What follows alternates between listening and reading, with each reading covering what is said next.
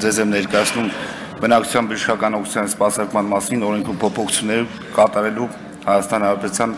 նախագիծը։ Մի քիչ բարձր խոսեք, ելի խնդրում եմ։ Արգելի падգամավորներ, ովքեր որ լքում են, արագ լքեք դահլիճը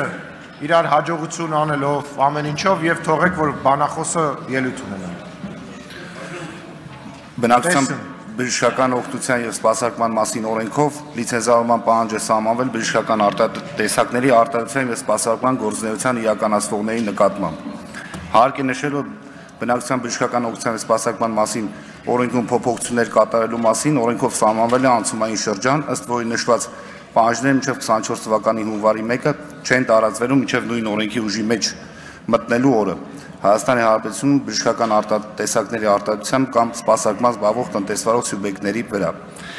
23 թվականին ընդունվել է եւ հրապարակվել է կառավարության 867 որոշման մեջ լրացումներ կատարելու մասին կառավարության որոշումը, որով սահմանվել են բժշկական արտադրատեսակների արտադրության, ինչպես նաև սպասարկման լիցենզավորման կարգերը։ Նշված կարգերի կիրարկումը հնարավոր է դարձել միայն 23 թվականի օգոստոսից հետո, երբ ուժի մեջ է մտել բժշկական արտադրատեսակների շրջանառության պետական կարգավորման ոլորտում իրականացվող փորձակցությունների վճարները սահմանելու մասին կառավարության որոշումը։ Այսպեսով ոլորտը կարգավորող ենթաօրենսդրական ակտերի ընդունման հետաձգումը կրճատել է տնտեսվարող սուբյեկտների լիցենզավորման գործընթացին պատրաստվելու եւ սահմանված պահանջները կատարելու համար տրված անցումային շրջանը։ Իսկ տնտեսվարողների կողմից որակի կառավարման համակարգերի ներդրում եւ համապատասխան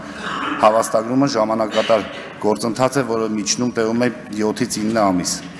Հաշվի առնելով վերոնշյալ նախագծով առաջարկում է բժշկական արտադրատեսակների արտադրության եւ սպասարկման լիցենզավորման պարտադիր պահանջ 24 թվականի հունվարի 1-ից հետաձգել մինչև 25 թվականի հունվարի 1-ը։